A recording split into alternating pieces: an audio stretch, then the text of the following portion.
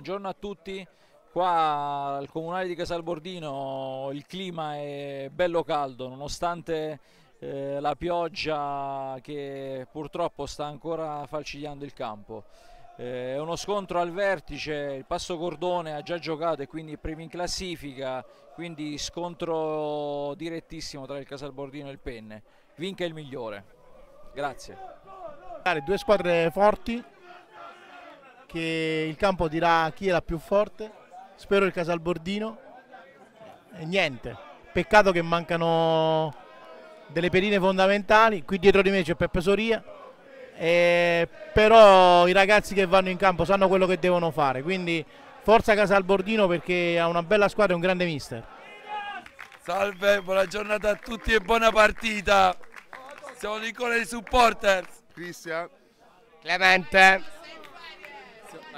Spero che sia una bella giornata. Sì, siamo molto agitati adesso, Eh, prima della partita, ansia. non riusciamo neanche a parlare.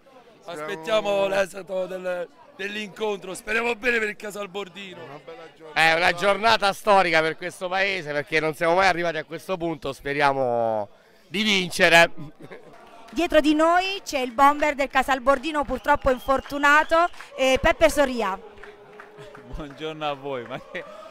guarda, mi stai facendo rosicare perché di solito sto là in mezzo, quindi speriamo, speriamo in una bella partita da ambo le parti, ma comunque io mi auguro di vincere questa partita per, per continuare a sognare con me in campo. Allora, oggi è una partita molto importante perché per la prima volta il Casalbordino ha diciamo, toccato questi livelli e sono orgoglioso di, di allenare la Juniores di, di- di questa squadra e spero che vada tutto bene. Un grosso in bocca al lupo a questi colori.